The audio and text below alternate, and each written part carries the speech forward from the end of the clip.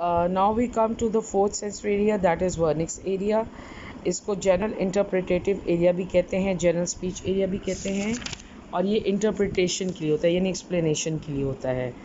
इसकी लोकेशन क्या है? It is located in posterior part of the superior temporal gyrus it's Brodmann area number is 22 very important M C Q speech area को Brodmann's area 22 भी कहते हैं and located at the junction of parietal occipital and temporal lobes this area is in dominant hemisphere dominant hemisphere होता है जो right handed लोग लोग हैं जो राइट हैंड से काम करते हैं उनका डोमिनेंट cerebral हेमस्फीयर लेफ़्ट होता है। फ़ंक्शन क्या है? It is concern with highly intellectual functions number two it receives impulses from somesthetic association areas and uh, from visual and secondary auditory areas ठीक है?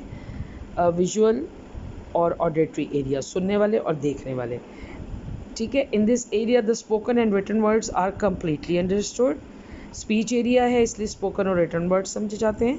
थाट्स आर फॉर्मुलेटेड फिर हम words to be spoken and written are decided words are chosen and sentences are made after this these informations are arrived to Broca's area through bundles of nerve fibres called arcuate fasciculus ठीक है? अब इस area का function ये है। Speech area हम आ, सुनते हैं।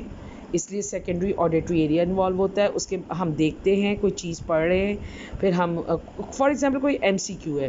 पहले हम उसको देखते हैं, उसमें सेकेंडरी विजुअल एरिया इन्वॉल्व होता है, फिर हम उस एमसीक्यू को सुनते भी हैं तो ऑडिटरी एरिया इन्वॉल्व होता है। उसके बाद हम सोचते हैं कि इस एम का आंसर क्या किया जाए। तो इसका मतलब हम अपनी थाट्स को फॉर्मुलेट करते हैं, फिर हम वर्ड्स जो बोलने हैं, या जो हमने आंसर करना है, उसको वो करते हैं। ठीक है? तो ये इसकी एग्ज़ाम्पल है।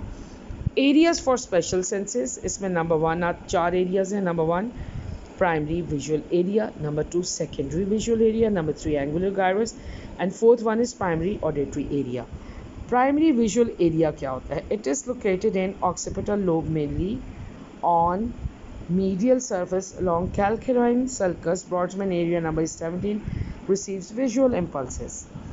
Then secondary visual area also called visual association area Broadsman number is 19 and 18. It is concerned with interpretation of visual impulses. Angular gyrus is located behind the vernix area. Vernix area के पीछे होता है. Broadsman area number is 39.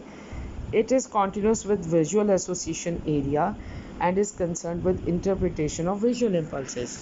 फिर हमारे पास आता है जी primary auditory area auditory सुनने को कहते हैं located in superior temporal gyrus and its Brodmann area number is 41 it receives auditory impulses then we have secondary auditory area also called auditory association area it is located around primary auditory area its Brodmann's area number is 40 and 41 it is concerned with interpretation of auditory impulses then we have taste area this area is located at lower end of post central gyrus and superior wall of lateral fissure and adjoining parts of insula broadman area number is 43 then we have olfactory area दो किस्म का होता है lateral and medial lateral consists of prepiriform and cortical areas of amygdala and medial olfactory area uh, includes septal nuclei which are in front and above the